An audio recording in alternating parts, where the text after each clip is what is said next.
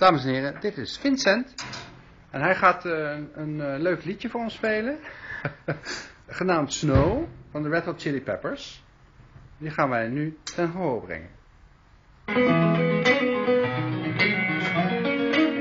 Vincent? Hard hè?